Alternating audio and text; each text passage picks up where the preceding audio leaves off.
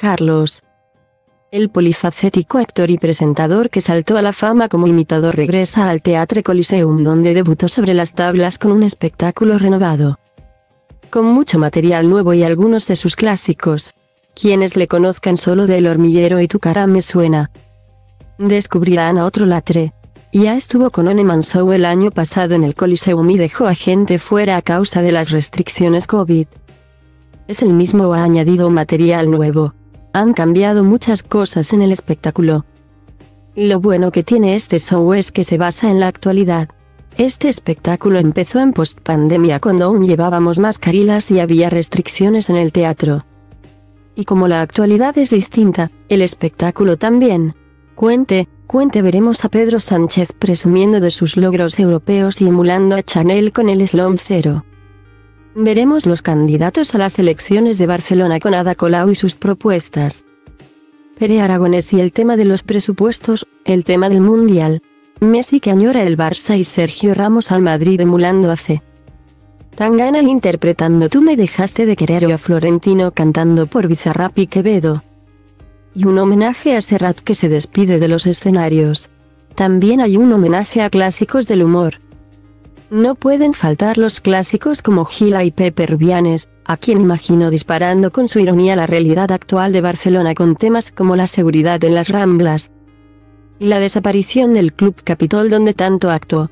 Aparte de Oneman Show tiene dos programas de radio a la semana y aparece en televisión en El Hormiguero y en Tu cara me suena. Le quedan horas libres. Muy pocas, sobre todo en esta época, porque además hago más cosas que la gente no sabe. Pero estoy feliz, hago lo que me gusta y logro que la gente se lo pase bien. ¿Cuál es el secreto para llegar a todo? Hay que ser muy monacal en estas temporadas. Ahora tengo seguimiento médico, una dieta equilibrada. Me toca perder un poco de peso que he cogido últimamente y hacer deporte tres o cuatro veces a la semana. Y, por supuesto, intentar dormir siete u ocho horas cada día. El latre del teatro es muy distinto al que vemos en televisión, quien no me ha visto nunca en directo se sorprende. No espera este despliegue de personajes, canciones. Aunque las imitaciones son la base. Hay mucho más. Van a ver un artista multidisciplinar porque canto, bailo, interpreto. Punto hago un poco de todo. Me voy transformando en un espectáculo muy positivo. Divertido, blanco y familiar todo el mundo puede conectar con él y con las más de 100 voces o personajes que aparecen durante una hora y media. Y la gente conecta con él. Este show está siendo una locura. En 17 ciudades llevamos 150. 000 espectadores. Usted está solo en escena, pero ¿cuánta gente hay detrás? Somos 10 personas y un equipo de guion detrás que lleva muchos años conmigo. En España tendemos a etiquetar, este es imitador y se muere imitador. Yo, además de eso, me siento atraído por otras muchas disciplinas, es el mismo de sus programas. Claro, tenemos grandes equipos. Nuestra productora está súper formada por gente que se concó desde hace tiempo. Es una familia donde todos trabajamos muy a gusto. Una maravilla. No parece de esos humoristas que cambian radicalmente fuera de foco. Es cierto, algunos compañeros son muy serios. Yo no soy del humorismo. El humor forma parte de mi vida. Es mi columna vertebral. Pero me gusta la variedad. En España tendemos a etiquetar, este es imitador y se muere imitador. Yo, además de eso, me siento atraído por otras muchas disciplinas encima de un escenario. Protagonizó la versión castellana de Golfus de Roma, actualmente en el Condal en catalán. Interpretar aquello fue un super reto. Hice 140 funciones, 10 de ellas en el Teatro de Mérida. Aquello fue alucinante. Estar con aquella gran compañía dirigida por Dani Anglés. Siempre le estaré agradecido. Fue muy duro pero muy bonito. ¿Volvería a hacer un musical? Por supuesto. Me encantaría volver a hacer uno y de otra manera. Ahora sabiendo lo que supone. Lo haría con cover. Si todo va bien iremos a Miami, Nueva York, México. Perú. La idea es esa, aunque no hay nada todavía que más figura en la lista de las cosas que le quedan por hacer. Uf, hay muchos retos. Pero si tengo 43 años. Estoy hecho un jovenzuelo.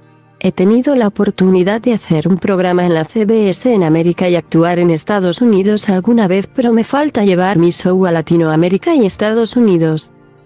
Estoy preparando una gira allí de cara al año próximo. Caray, pues deberá buscar nuevos personajes para el show. Será un espectáculo mucho más musical realizado a partir de este Oneman Show. De hecho, ya estamos trabajando en ello. Si todo va bien iremos a Miami, Nueva York, México, Perú. La idea es esa, aunque no hay nada todavía. Trabajo con dos equipos de guionistas, un equipo de espectáculos. Convenciones de empresas y presentaciones de empresa que hace guion con base de actualidad, y luego tenemos otro equipo dedicado a Tu cara me suena. La radio y las otras actividades que hago. ¿Hacer series de humor no le tienta? No.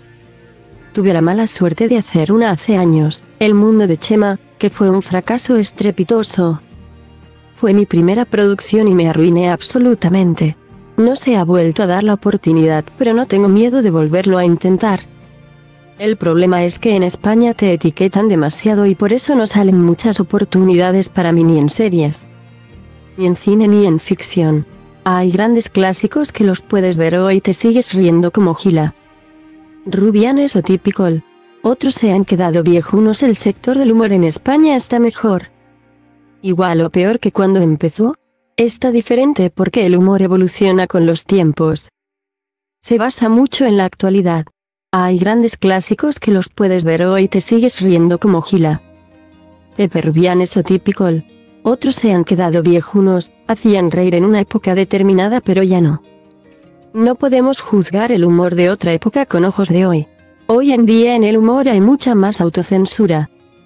Somos mucho más polites, bien quedas, todo mucho más happy flower. Seguimos diciendo lo mismo pero has de tener más cuidado de qué dices y cómo lo dices. Yo no he tenido problemas nunca porque mi humor es muy blanco y familiar, pero sí he tenido compañeros que han tenido que frenar un poco. Lo que decían hace años ya no se puede decir. Y hay más mujeres que antes. Menos mal. Siempre ha habido grandes humoristas femeninas desde Lina Morgan a Marisan Pere a la Maña. Amparo Moreno. En la cubana también ha habido varias actrices cómicas maravillosas.